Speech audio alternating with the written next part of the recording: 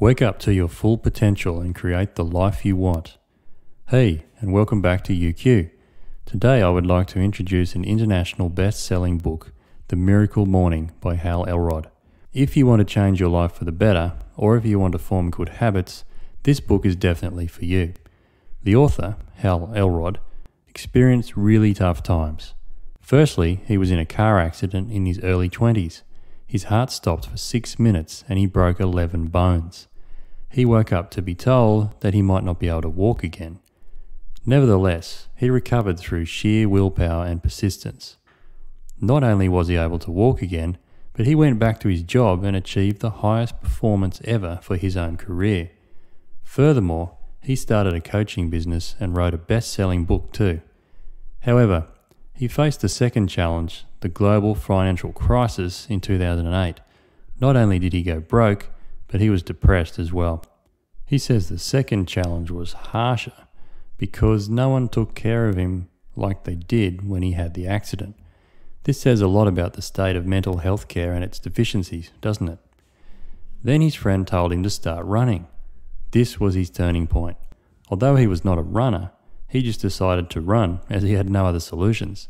As he ran, his mind cleared, and then, based on his experience, he created the Miracle Morning Method.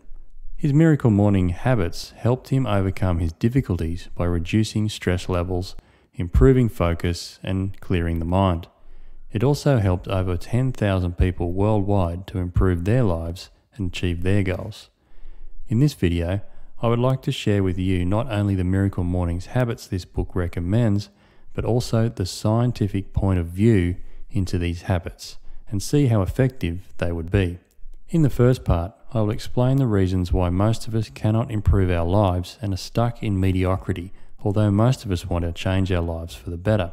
In the second part, I'll explain the six morning habits this book recommends, which are known as savers silence, affirmation, visualization, exercise, reading, and scribing.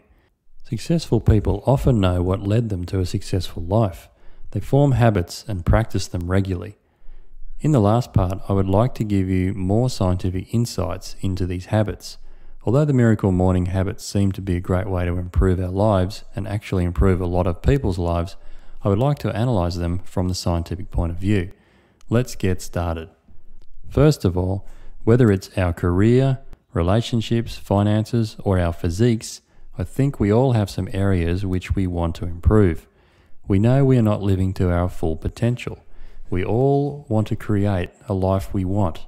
Nonetheless, most of us are stuck in mediocrity. According to the Social Security Administration in the United States, if you take any 100 people at the start of their working careers and follow them for the next 40 years until they reach retirement age, only one will be wealthy, four will be financially secure, Five will continue working, not because they want to, but because they have to. 36 will be dead, and 54 will be broke and depend on friends, family, relatives, and the government to take care of them. This means only 5% of the people are financially secure, and the vast majority are struggling financially and settling for less than they want in life, wishing they had more, living with regret, and never understanding what they could be, do, and have all that they want. So, why are we stuck in mediocrity? Why can't we create the life we want? There are seven reasons. 1.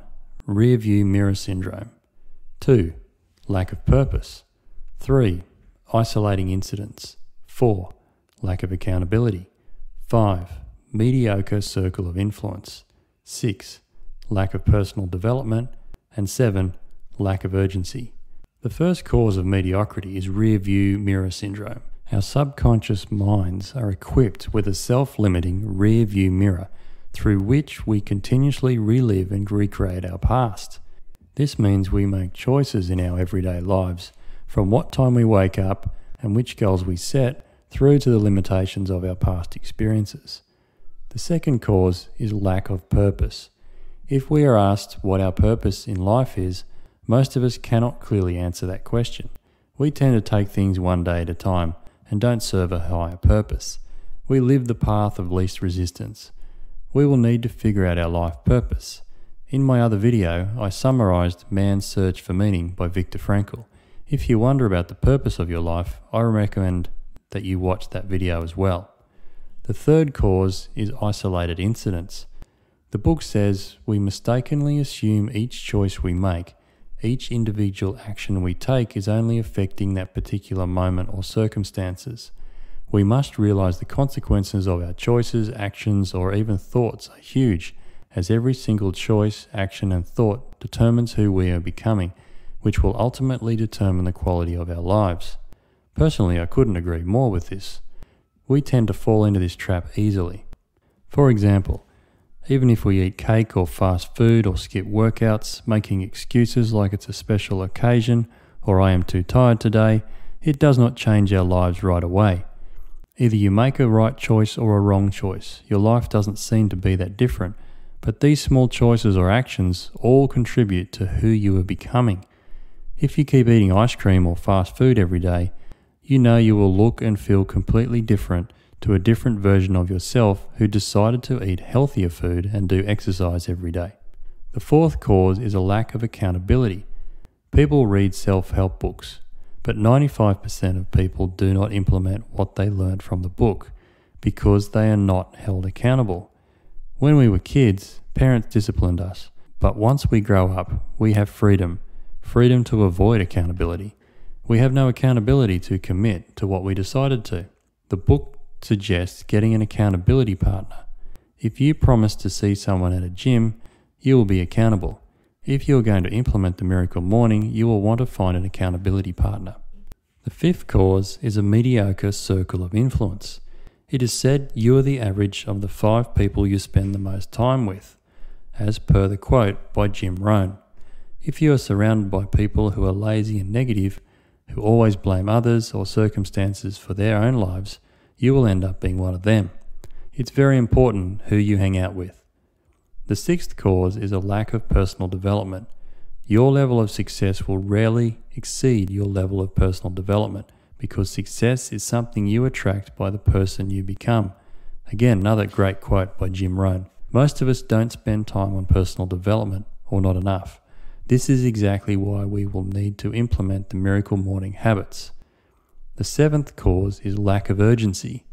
We all want to improve our lives, but without lack of urgency, we will keep thinking, someday life will work itself out, and that someday will never come.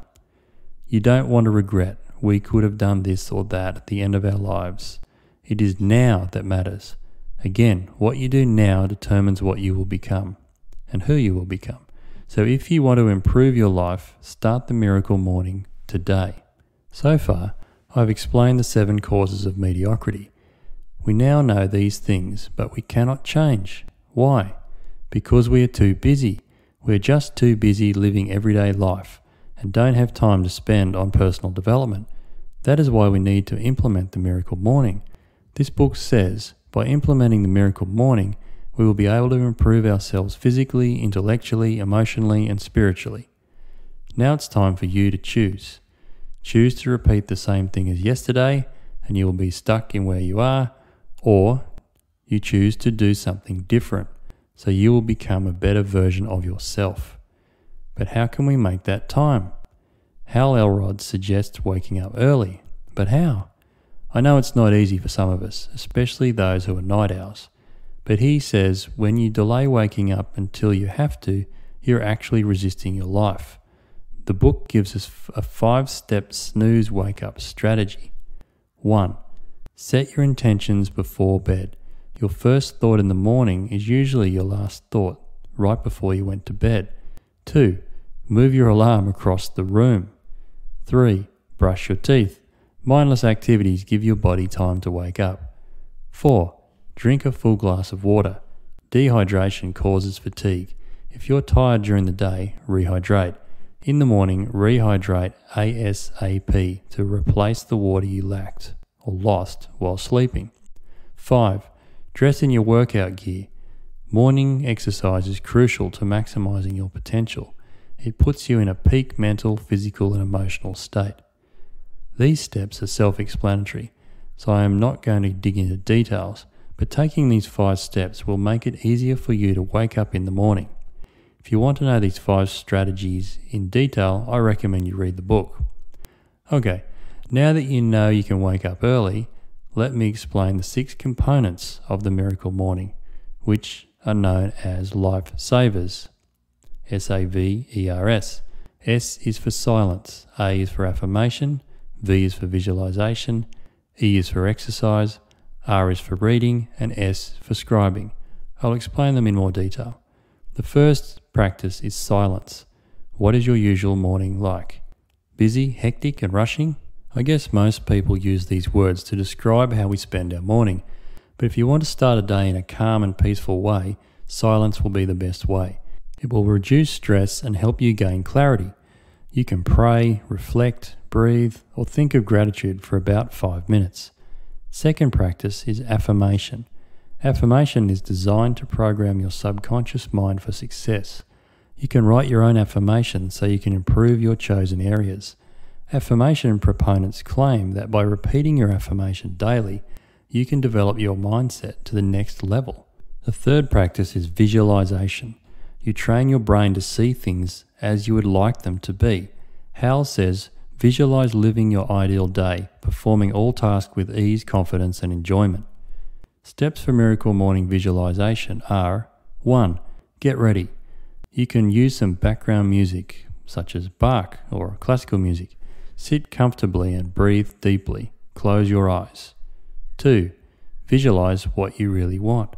Forget logic, limits, practicality. If you could have anything, what would you have? What could you do? What would you be? Don't feel guilty about it. 3. Visualize who you need to be and what you need to do. See yourself doing the positive actions you need to do daily, such as exercising, writing, calling, etc., and that you're enjoying the process. The fourth practice for savers is exercise.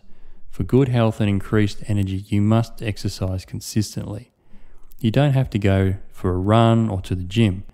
You can do something more simple like yoga, but you just need to get moving and get blood and oxygen flowing to the brain. The fifth practice is reading. Reading is to the mind what exercise is to the body and prayer is to the soul. We become the books we read. Matthew Kelly. Hal recommends a minimum of 10 pages a day, but before you read a book, ask yourself why you are reading it what you want to learn from the book, and keep the outcome in mind. Interact with your book. Underline, highlight, take notes, and reread. The sixth practice is scribing. Scribing just means writing, but a W would have ruined the acronym. This means journaling, jotting down ideas, making gratitude lists, or putting anything that comes into your mind. Hal recommends you review your journal occasionally You'll experience gratitude as you look back over all the experiences, lessons, and accomplishments you noted. So, I've explained all six of the Miracle Morning practices. The Miracle Morning Life Savers is completely customizable.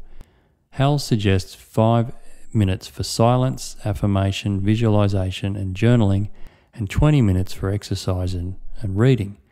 But you can spend more or less time depending on your needs and preference. You can customize the sequence of savers as you like as well.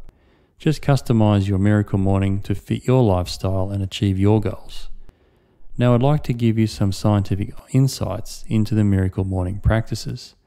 We are all busy, so we don't want to spend our precious time on things that are not effective, do we? The Miracle Morning is a great book but the problem with this kind of book is that they are only based on one person's experience, the sample size of one, or n equals 1. Yes, there have been quite a few followers of Hal who claim that the Miracle Morning had a positive impact on them, but you would not know how many people have tried and failed. So, let's have a look at what the scientists would say. From the scientific point of view, it would be safe to recommend meditation, exercise, reading, and journaling to everyone because these are practices that have a lot of scientific studies proven how effective and beneficial they are for us. There is more and more evidence that exercise is good not only for your physical health, but also for your mental health and brain. Any kind of exercise would be beneficial for you, but if you want to maximize the benefit, I would recommend HIIT or Tabata, which is a type of HIIT or high intensity interval training. Studies show that HIIT improves both aerobic fitness and muscular endurance. Also, a meta analysis of 41 studied showed that HIIT is the best way to lose body fat, providing 28.5% greater reduction compared to the other exercises. The American Psychological Association, or APA, also recommends exercise, meditation, reading, music, walking, spending time with your family and friends, massage, and praying as the most effective ways to reduce stress. A study by the University of Minnesota found that reading can reduce stress by up to 68%. By reading, you can gain knowledge and reduce stress. It's killing two birds with one stone, isn't it? Journaling is also a great habit. A study from 2003 found that people who kept a gratitude journal, like five things per day, for 10 weeks felt 25% happier afterwards. So, if you start the miracle morning from today or tomorrow, make sure you do these things. But I would like you to be careful when you do affirmation and visualization. A study by the University of Waterloo in 2009 found that positive self statements can be ineffective or even harmful to people with low self esteem. Among people with high self esteem, affirmation worked to a limited degree. Repeating positive self statements may be beneficial to some people, but backfire for other people who need them the most. The book also recommends visualization.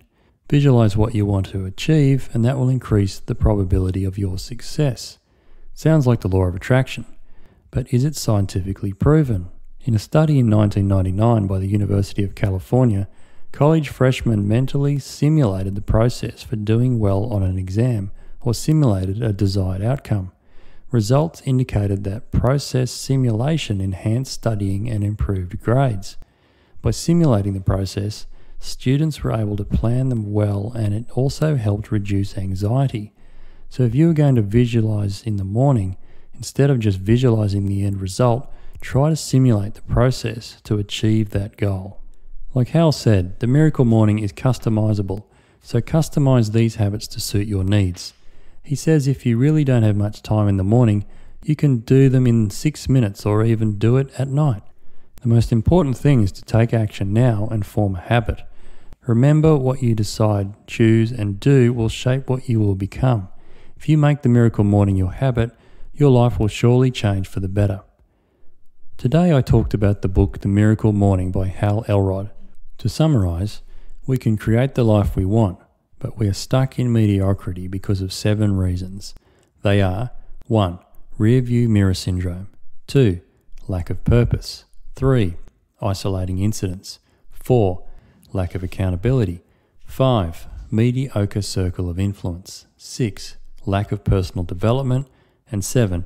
Lack of urgency. But by starting the miracle morning, we can gradually change our life for the better. The Miracle Morning habits are abbreviated as lifesavers. S is for silence, A is for affirmation, V is for visualization, E is for exercise, R is for ready, and S is for scribing. The book suggests making them habits in the morning. Lastly, from the scientific point of view, meditation, exercise, reading, and journaling are proven effective ways to make you healthier, both physically and mentally. So I suggest making at least these four things your habits. Remember, every single choice we make will shape who we become. So let's make better choices and start new habits from today. Thank you for watching YouQ. If you like this video, please subscribe or hit the like button below. See you next time.